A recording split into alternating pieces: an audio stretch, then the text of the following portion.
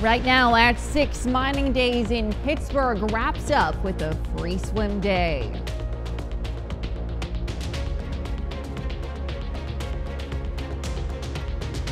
And we've got a pretty decent start to the day out there, just a few clouds here and there.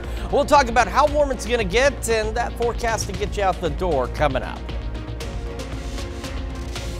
Plus, residents in Parsons participate in a fun run to raise awareness about gun violence. Good morning and welcome How you to doing? Morning News.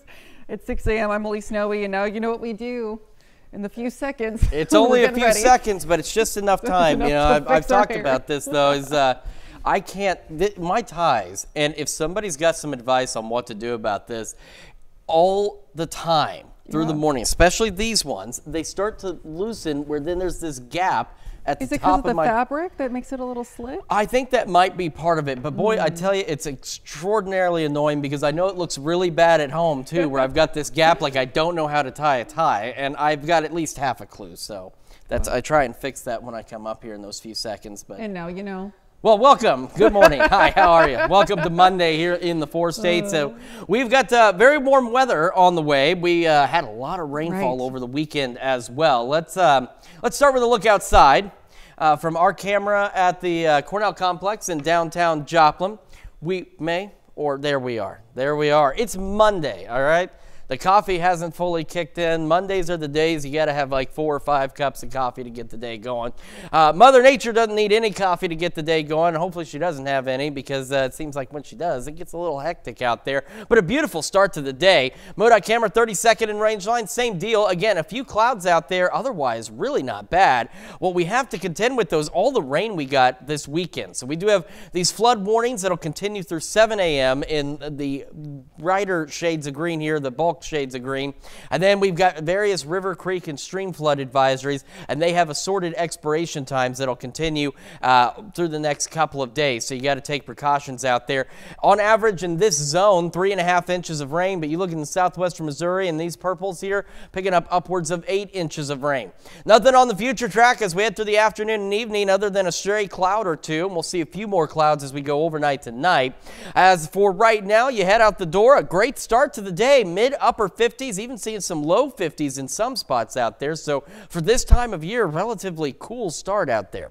All right, temperatures upper 70s, low 80s today. Plentiful sunshine, maybe a passing cloud or two. We'll go partly cloudy as we head into the overnight hours, and then temperatures are really going to start to warm up over the next few days. We'll break down those details in the full forecast here in a few more minutes. Elise? All right, Chris, thanks. Well, the mother and one of the children involved in a Parsons, Kansas house fire Wednesday have died of their injuries. The Parsons Police Department announced Friday that Kristen Vargas, the mother of the four children, died Friday morning in the hospital. One of her daughters, an 18 month old infant, died at the hospital on Thursday. Two other children, a seven month old and a four year old, are still receiving treatment in the hospital, and the fourth child, a six year old, has been placed with a relative. Police arrested another resident of the home, Jack Melton, at the scene on a charge of unrelated from the fire. Officials are still investigating that fire. Well, a two vehicle crash on Range Line sends two people to the hospital. The crash occurred at about 3 o'clock Saturday at 17th and South Range Line. Numerous witnesses said the driver of the SUV was ejected on impact. The car involved went over curbs and through landscaping, coming to a stop in the U.S. Cellular parking lot on the northwest corner. Joplin police say the two transported to hospital suffered non-life threatening injuries and authorities are still investigating what occurred. To be the first to see breaking news, weather, and sports, you can download the KOAM News app. It's available free of charge in the Apple App Store and the Google Play Store. Just search for the KOAM News app. The Municipal Frontenac Swimming Pool wrapped up the Mining Days festivities with a free swim yesterday, allowing everyone to beat the heat without beating their bank account. The free swim is the traditionally the last event to cap off Mining Days. For me, it just kind of feels like another normal day at work. But uh, it's just, I think it's a, a good way for people to end their weekend, come uh, go for a swim, cool off after a hot day out here. The free swim got moved from 1 p.m. to 3 p.m. due to low temperature. Well, Forest Park in Parsons was filled with a sea of orange Saturday morning with community members coming together to wear Orange Weekend. The orange represents the color hunters wear to not be shot and wear Orange Weekend is about raising awareness for gun violence in the United States. KOAM Samantha Walker has more. Dozens of t-shirts are strung up across Forest Park and Parsons, representing a voice that can no longer be heard. It's a visual symbol because every day 120 people die from firearms and another 200 are injured. So we wanted to make a visual to imagine these are all people who die every day from firearms. The shirts are part of an event organized by the Parsons chapter of the Mothers Demand Action Group, an organization advocating for gun safety and common sense gun law. The group joined hundreds of chapters across the country in holding an event to raise awareness on gun violence in the United States, particularly the rates in which children are affected. We don't want your child to become a statistic. Every well, every year 355 children accidentally shoot themselves or others. So that's something we can prevent. Numerous community organizations are involved in the annual fun run, helping to provide information and resources on common sense gun safety and practices. Local law enforcement agencies are also present, giving out free gun locks, hoping to limit access to firearms for children and others. When you have to pick up a gun and open up the lock, you have to actually think about what you're doing, and it gives you a moment to stop and think about those types of things. Many attendees and volunteers at the event have a personal connection to someone impacted by gun violence. For many parents at the fun run, the thought of children being at risk hits close to home. When I was in school, the drills that we had were fire drills, tornado drills.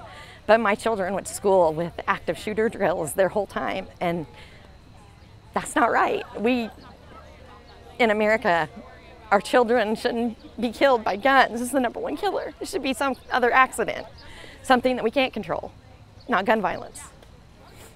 For organizers and volunteers, they say the event will be a success if even one person goes home to be a little bit safer. We're not trying to take anyone's guns away. I grew up, my dad was an avid hunter, my husband's a hunter. That stuff, that's not what we're about. But just keeping them locked up, keeping them safe. It's about protecting people and just helping people with resources to make good decisions about their guns. Reporting in Parsons, Samantha Walker, KOAM News. The event held a fundraising drive for Safe House Crisis Center, an organization that assists people experiencing domestic violence, sexual assault, or stalking. Organizers say individuals going through those types of crises are more likely to be impacted by gun violence. And that's a look at this morning's top stories and weather in our first seven minutes coming up on the KOAM Morning News. Biden administration officials say new asylum restrictions have not yet curbed border crossings at the U.S.-Mexico border. Plus, the families of four Israeli hostages taken by Hamas on October 7th are now back with their families. And Chris Warner returns with another look at your Monday forecast. You're watching the KOAM Morning News. We'll be right back. But first, here's a live look from the SEK Nature Center in Cave.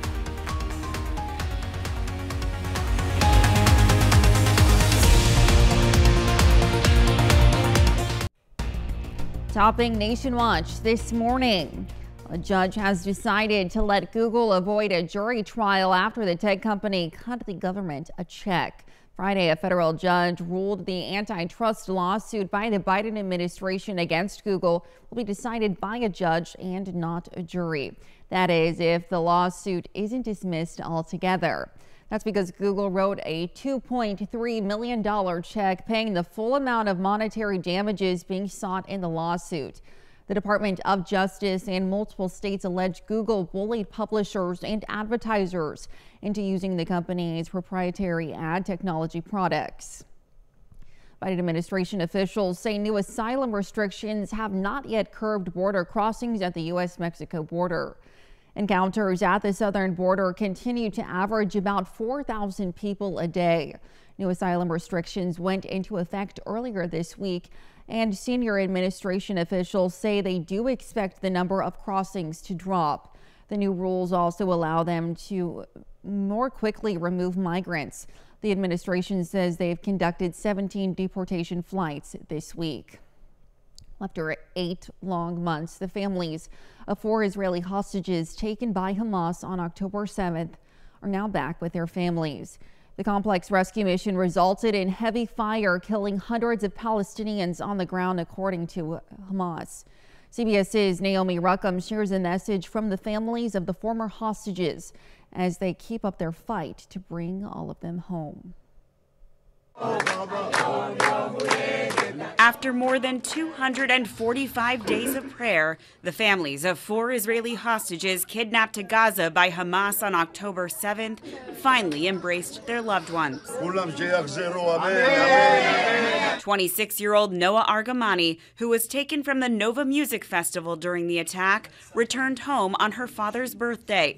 The operation to free the hostages left an Israeli commando dead after the Israeli military says its forces came under heavy fire during the daytime mission. According to Hamas, more than 270 Palestinians were also killed. The group does not differentiate between civilian and militant casualties. In another setback for the civilians of Gaza, amid safety concerns, the UN World Food Program has paused distribution of humanitarian aid from an American built pier in the territory. of State Antony Blinken returns to the Middle East today with no firm response on a ceasefire since the White House made a proposal 10 days ago. Naomi Ruchim, CBS News, New York. Secretary Blinken's trip will include visits to Egypt, Israel, Jordan, and Qatar. During his visit, he will ask leadership to urge Hamas to accept the proposed ceasefire on the table, which calls for the release of more hostages and a temporary pause in the fighting. The militant group has yet to respond to that deal. And that's a look at some of today's top national stories. Here's Chris with a look at your forecast. Yeah, aside from just a few clouds on the Skywatch storm tracker, we are looking pretty good. Get an opportunity to dry out and warm up. Look at that sunrise this morning. Absolutely gorgeous. Temperatures a bit cool, but again, warmer weather on the way. We'll have another look at your forecast when the KOAM Morning News returns.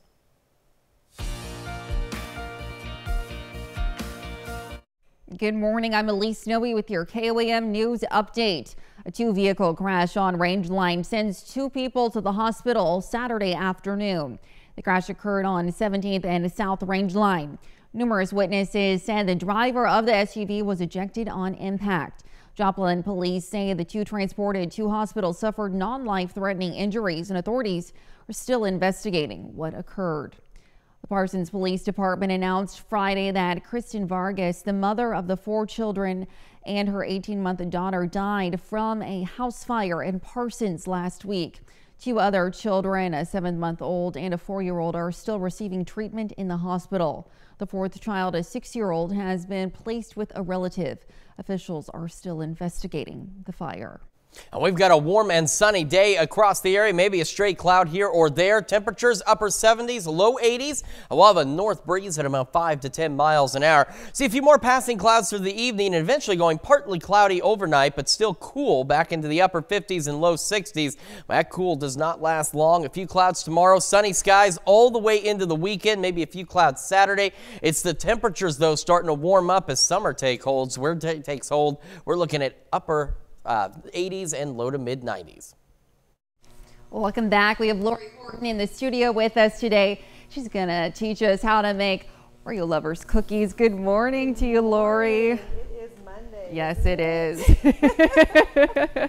Luckily, this is a really simple recipe today, but we've got a couple of kind of prep things that we have to do before okay. we really get started putting it together. So we're going to start out with just simple Oreo cookies, chocolate sandwich cookies if you like, but go for the Oreo. Absolutely, yes. What we want to actually do, this is a little bit of a tip. When you have a recipe that calls for crushed Oreos, right. we're actually going to separate the filling. Okay. The best part. The best part. We're going to use it. Don't worry. Okay, good. Okay. but when you put that in your bag and you put it in this right. all the pieces, it kind of just turns into a gummy separating the filling, we get a good crush of the chocolate cookie pieces and we're actually going to add that filling to our wet dough and get a little more of that really good flavor of Oh, it. fantastic. So it really highlights it and it adds more flavor, believe it or not, and uh, works out really well. So we're just going to separate all of that. We're going to get those 10, 10 to 11, 12 if you like, make it an even dozen, you know, 10 Might is good, well. 11 is better. Absolutely. And take those leftover pieces Okay. And we're going to put them in a sandwich bag. And we are then just going to crunch those up into nice small pieces because when we get done, we're going to put them in our cookie dough. So we don't want real big Right. chunky pieces. This is where you get to sort of act out your uh, Monday morning aggressions. you know, get rid of all of that. You can be nice and you can crush these on a flat surface. You can take your rolling pin and really get after that.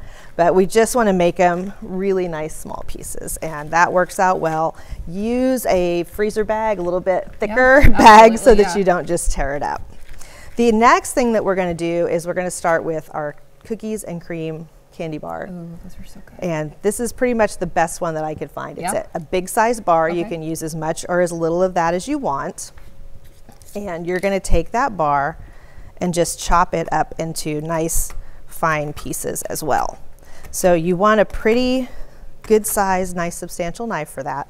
And we want to crunch this up into, move this over out of my all my stuff, um, but just some nice fine pieces. Yeah. Because again, we're going to put this into our cookie dough.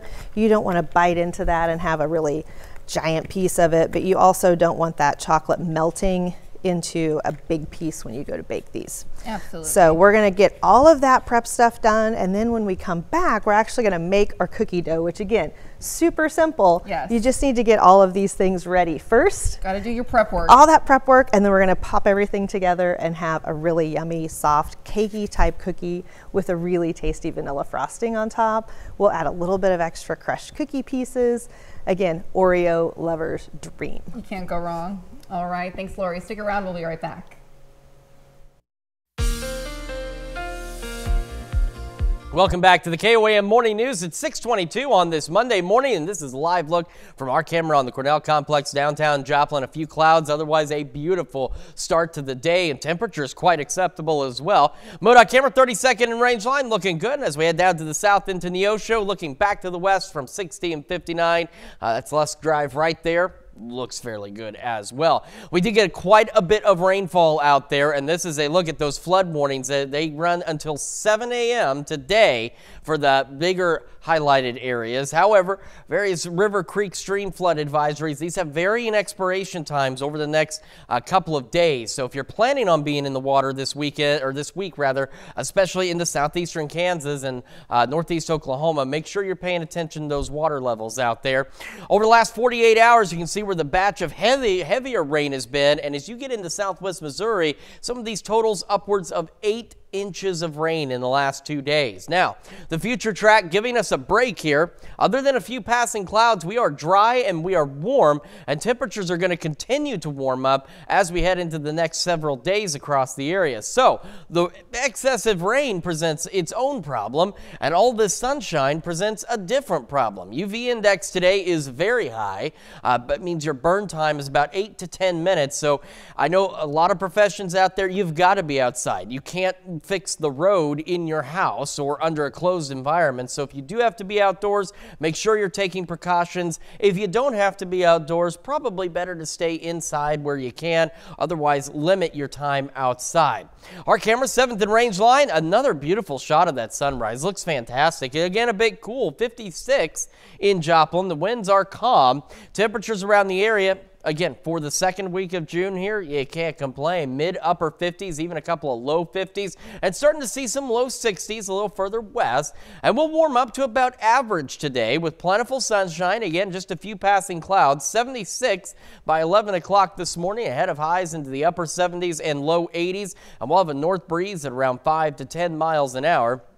Heading into the evening, we'll see a few more passing clouds, eventually becoming partly cloudy overnight, down to 68 by 10. Lows again, pretty cool tonight, upper 50s and low 60s.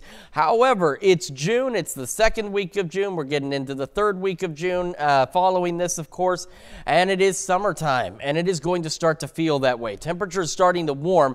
We're going to see sunny skies gradually getting into the upper 80s near 90. Then we start to get into the low to uh, even mid 90s as we head into this upcoming weekend. So make sure you're taking appropriate precautions, staying hydrated as these temperatures really start to take off over the next several days. And we could see a stray shower or two by next Wednesday. That's a check of your forecast. Now we're going to send it over to Elise with Health Watch. Thanks, Chris. The doctors say they're getting closer to understanding Parkinson's disease. Scientists from the University of Dundee say they found a molecular switch in the brain that helps protect people from the disease. They hope it could one day lead to drugs that benefit patients. Parkinson's is the fastest growing brain disorder in the world with no effective treatments to slow the condition. We're learning new details about how the brain works when we have to make important decisions. Researchers at New York University tested human brain activity while navigating a maze on a computer. They found when we plan something, the prefrontal cortex and hippocampus actually create a mental stimulation, visualizing different options, and that helps us make important decisions. Well, aging in the body increases even if the brain only thinks we are overeating. A study of animals found that even if their diet hadn't changed at all, when cells in the brain were given information that the animal was overeating, their internal organs showed more signs of aging. The study authors say this could help them understand how brain how the brain processes could lengthen or shorten a person's lifespan. Las Vegas hospitals are reporting an increase in patients because of the extreme temperatures. Heat exhaustion can cause nausea, fatigue, and dizziness. Experts are warning people to reduce time outside and monitor for symptoms. Kristen Drummond reports. And I think it's more of an emotional piece than it is a physical acclimation that we have to get around to. It's more about ourselves acclimating to a new temperature and what that means in terms of our outside activities. And we're going to be curtailing some of those activities perhaps sooner than we would have in other seasons when the temperature rose later in the in the summer. Dr. David Weismiller sitting down with me Thursday. The family and community medicine professor at the UNLV Kirk School of Medicine says heat exhaustion can happen with these triple digit temperatures. Physical effects can include nausea or confusion. It's a result of not enough fluids in the body. Dr. Weismiller says the body will react and essentially prioritize which organs need to function to stay alive during that type of exposure. There's always going to be blood shunted to the organs that are most important. Our brain and our heart are always going to take priority as other things start to um, show compromise. So when you're feeling it, you may not be experiencing any type of organ issues yet. However, that is where things are headed if you don't get adequate perfusion. During this heat, experts say always stay hydrated and never ignore signs of heat exhaustion, such as dizziness, fatigue, and nausea. And that's a look at some of today's top health stories. We'll be right back. Right now at 6.30, the town of Altamont hosts its annual Flag Day celebration. And we've got an absolutely beautiful start to the day out there. It is going to be warm, it will be sunny, and it is going to get warmer yet. We'll have a look at that forecast, get you out the door coming up. Plus, Pittsburg's Lincoln Park Place hosts to bands from all over for the Halfway Home Music and Arts Festival. The four states' most watched news starts now. Well, good morning and welcome to the KOAM Morning News. It's 631. I'm Elise Noe. And I'm Chris Warner. It's Monday here in the four states, and I would like to thank Facebook for taking a moment to uh, share some pictures from my senior year in high school. Yeah. Almost 20 years ago. How I'd like that feel? to. Uh, I feel even older. The thing is, it feels like it's been 20 years since then. Oh. Uh, but uh, I might share that post. Uh, yeah. My, my friends there on Facebook uh, from 20 years ago. I'll share some of those Check old pictures. Yeah. yeah, there's a great, great trip back in time for sure. All right, let's talk about right now, though. Let's not remind ourselves that we are getting older because it's something we can't stop, but it is getting warmer. and We can't stop that either because oh, it's June. It's going to happen. Yeah. But it's a beautiful start to the day, even a little bit on the cool side. We've got a great shot from the MoDOT camera 32nd and range line. We've had just a handful of clouds here and there. and That will be the case for the next couple of days. Will otherwise be dry. However, we got a lot of rain this past weekend, and because of that, we do have flood warnings out there. So the broader highlighted areas here, these flood warnings go through 7 o'clock this morning. And then for all the rivers, creeks, stream flood advisories out there, they have varying expiration times over the next couple of days. So if you're planning on being on the water, especially in the southeast Kansas and northeast Oklahoma, make sure you're checking those levels. These water levels can be dangerous. You've got to be careful out there because we received this kind of rain. On average, in this red box that we highlighted here, it's about three and a half inches. But in southwest Missouri, some of these purple colors, that's upwards of eight, nine inches of rain. Future track heading into the afternoon and evening, there's really not much on it other than those few passing clouds. So we're going to be dry and we will be warm. But we do have a pretty cool start to the day. Starting to see some 60 degree readings. Most of us, though, mid to upper 50s. Highs about average into the upper 70s and low 80s, sunny skies, and again, maybe a passing cloud or two. As mentioned, though, it's June, it's summertime. Temperatures are really going to start to warm up, uh, get just downright hot over the next several days. We'll break down those details in the full forecast a little later. Elise? All right, we'll check in with you soon, Chris. The city of Altamont held its annual Flag Day celebration on Saturday. The all-day celebration included some usual staples such as turtle races and a water balloon toss, as well as some new events like a quilt show and an esports tournament. A $500 medallion hunt was held during the week leading up to the event. A new activity is being held towards the end of mining days, and that is a pickleball tournament. 21 teams of all ages participated in the first ever tournament yesterday in a round robin format. Medals were awarded to the top three teams, and all proceeds went to the Frontenac Rotary. Citizens in Pittsburg had the opportunity to enjoy live music in Lincoln Park Saturday at the Halfway Home Music and Arts Festival. Attendees could enjoy music from seven bands across six genres, including hard rock, country, Americana, and more. Proceeds from Saturday's event go to revitalizing the J.J. Richards Band Shell. A great time. I, I, guess that would be the thing you would want for every concert. Um, I want them to be aware that we started with just multi-genres too. I didn't want this to be a country festival. I didn't want it to be a red dirt festival.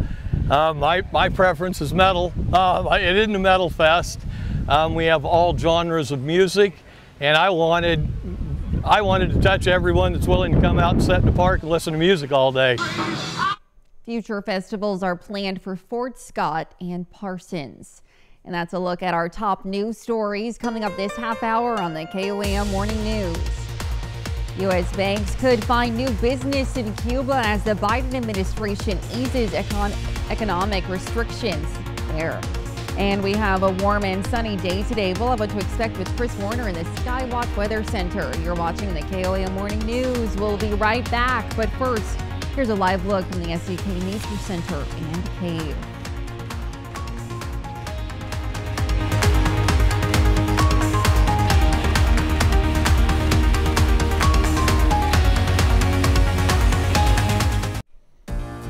In Consumer Watch this morning, U.S. banks could find new business in Cuba as the Biden administration eases economic restrictions there. Whether they take advantage of it or not will all depend on their appetite for risk.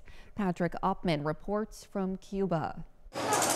This small store in Old Havana called Dador, or Giver, produces its own clothing line and is a must visit on just about every Cuba insider's list.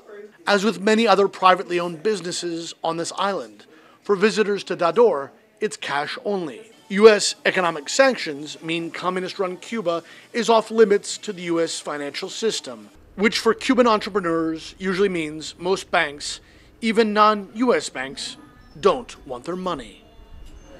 But changes announced by the Biden administration in late May are giving Cuba's scrappy business pioneers cautious hope. A lot of the Cuban businesses are very much dependent on um, foreigners coming to Cuba Uh, so having access to credit cards and being able to do those transactions will be very positive. And just like anywhere in the world now, people don't really travel with cash anymore. While the U.S. economic embargo remains very much in place, the Biden administration is allowing Cuban entrepreneurs to open bank accounts in the U.S. and access online banking. As the island transitions, however slowly, from a centralized Soviet style bureaucracy to an economy that permits greater entrepreneurial freedoms, there are more opportunities available.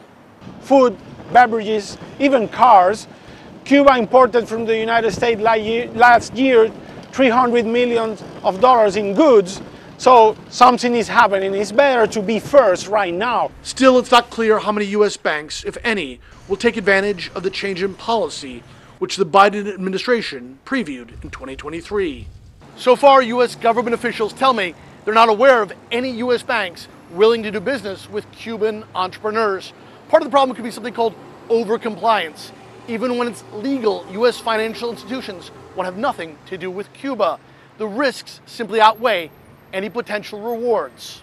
For entrepreneurs like those at Dador, the new relaxed restrictions could make it easier for them to buy materials from the U.S., even sell their clothes to customers abroad. I mean, that's part of the Cuban resilience. That's who we are. That's, I think that's actually part of our identity now. Always thinking outside the box because we've always had so many challenges and so many limitations. Cubans deal with endless restrictions placed on them from outside and within. However big or small the opportunity they are given, though, Cuba's entrepreneurs will make the most of it. Patrick Oppmann, CNN Havana. Some states are taking steps to limit or cut rising property taxes as home values dramatically increase.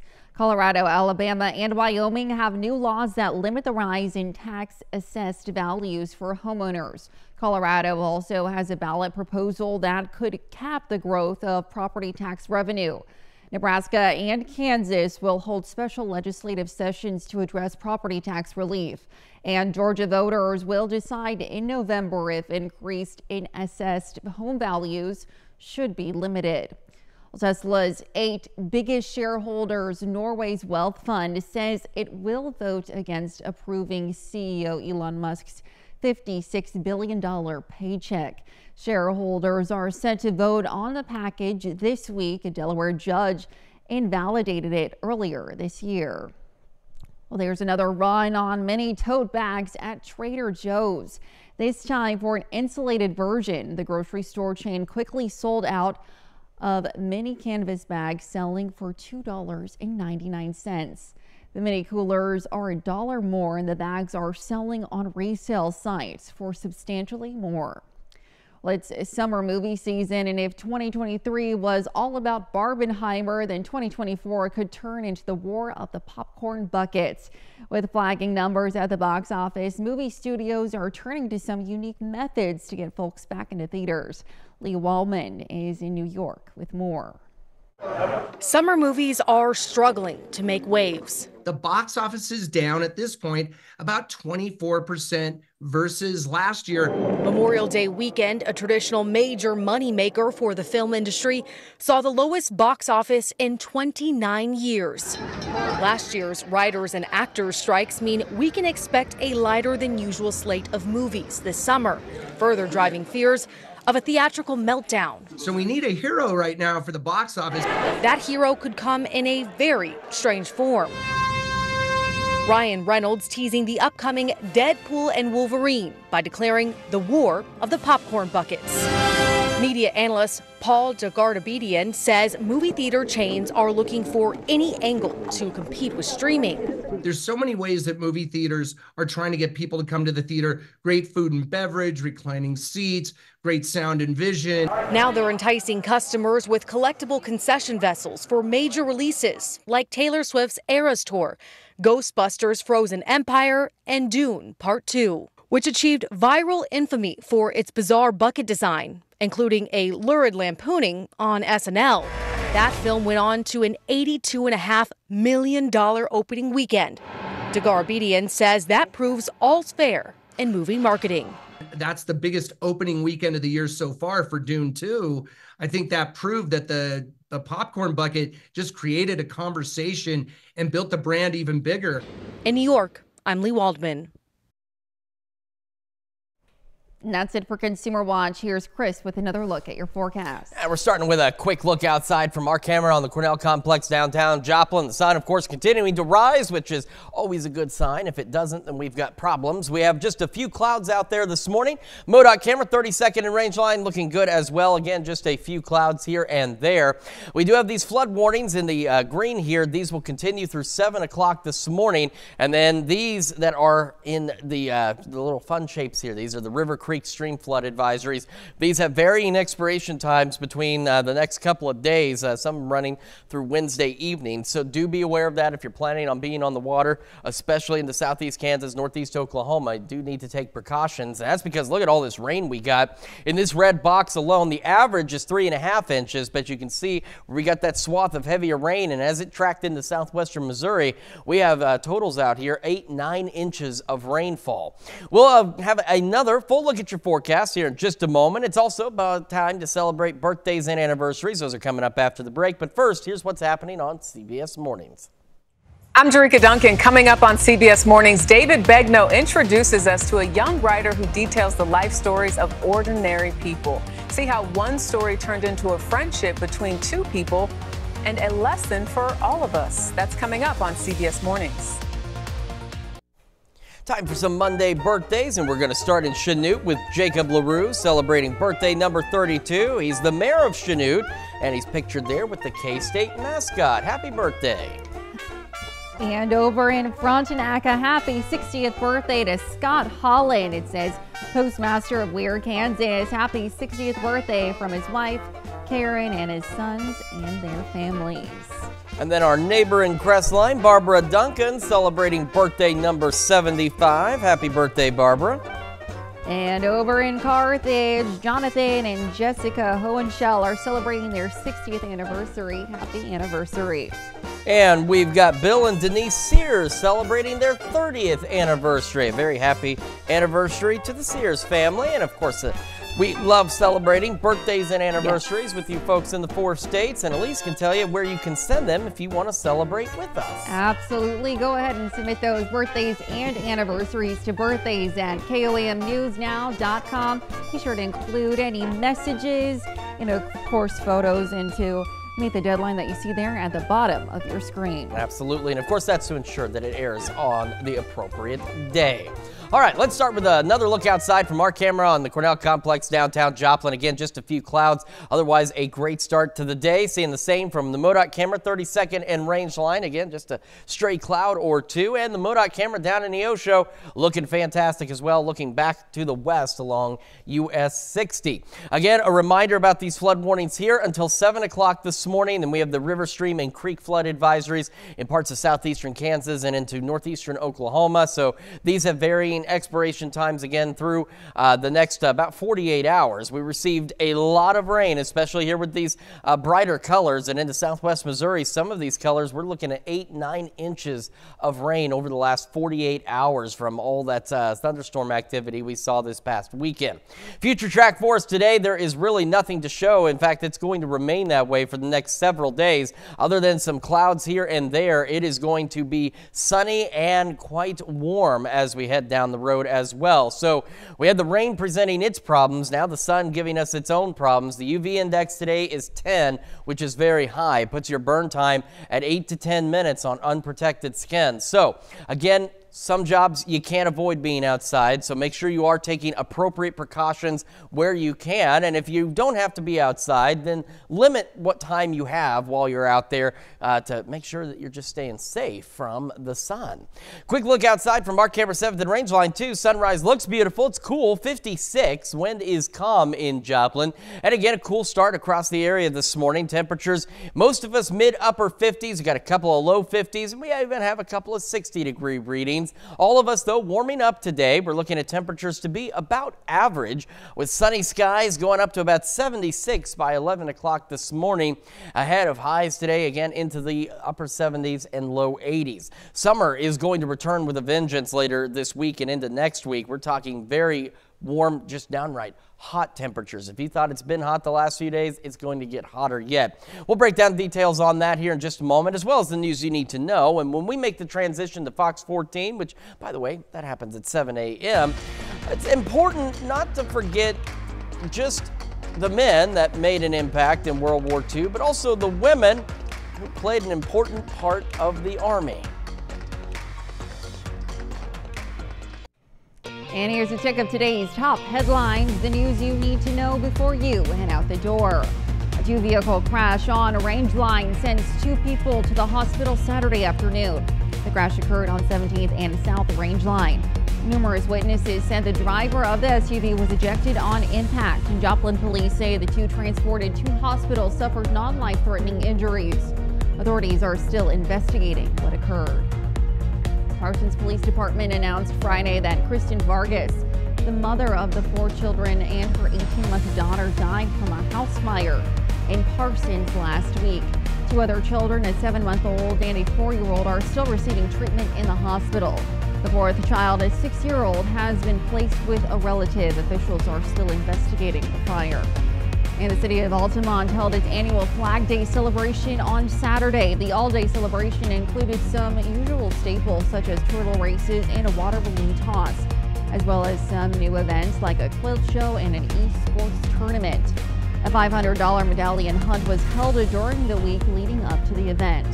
And that's a check of today's top headlines, the news you need to know before you head out the door upper 70s and low 80s. Sunny skies, maybe a passing cloud or two. North breeze at around 5 to 10 miles an hour. Heading into the evening, a few more clouds out there. Will eventually be partly cloudy overnight tonight. Then another cool one back into the upper 50s and low 60s. But as mentioned earlier, summer will return. Low 80s tomorrow, mid 80s on Wednesday, upper 80s on Thursday, low to possibly even mid 90s as we head into the upcoming weekend. And as you can see, skies remain sunny as well. So it's going to be very hot. You want to make sure you're taking appropriate precautions to stay safe out there as these temperatures warm up because it's been, we've had some hot days, but it's going to get even hotter uh, by this weekend and then maybe a stray shower or two by next Wednesday.